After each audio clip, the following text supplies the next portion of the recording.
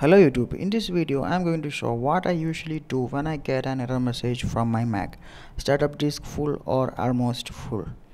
Uh, when I got my this is my first Mac. When I got my Mac I partitioned uh, the disk and I made a 100 GB partition for OS X and another uh, 300 GB for my files and another 100 GB for bootcamp uh, running Windows 10 now. uh, but 100 uh, GB was not that uh, good for me because I am not an organized guy.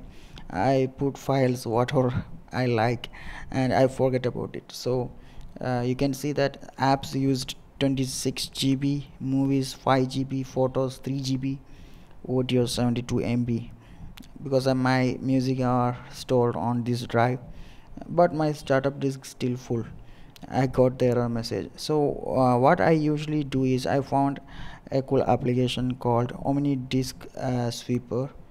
Omni Disk Sweeper. Uh, open that application and select the drive. And now I open OS X drive. And you can see that uh, this is my user Vishnu. My that is my name. Uh, downloads 16 uh, sorry 18 GB library 16 GB so uh, you can see that uh, the startup disk is full because I didn't move my downloads or uh, deleted unnecessary files. And you can see that I stored around 14 GB in my desktop uh, itself. Uh, and you can uh, browse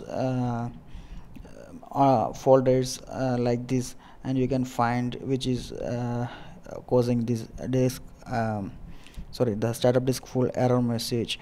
Uh, you also you can go to applications and see that there is any application making unnecessary uh, cache files etc but usually it will automatically removed by OS X. You don't have to care about those things.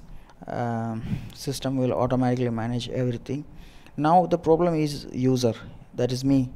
I'm creating unnecessary files or unnecessarily uh, put a file there and forget about it. Uh, so I am the problem. So uh, if you got an error message uh, download Omni Disk Sweeper. Here is the website. I will put a link to this website in the video description. You can check uh, uh, you can check this website. If you need you can download this and run this software and select the drive and wait for few seconds. You will be uh, get a screen like this and you can browse your file uh, systems folder etc and you can find where you put the files or which is the most uh, used folder etc uh, so that's it. Uh, hope this helps. Check out omni disk sweeper.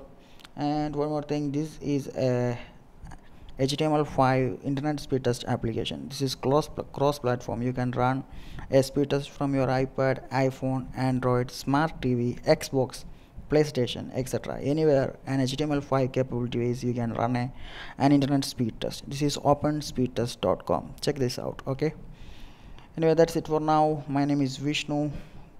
Bye bye see you next time. Like this video if you like this dislike this video if you dislike this if you like uh, this kind of video subscribe to this channel. And if this video helps you and uh, you have another mac friend you can share this to him okay? Or her. Bye bye have a nice day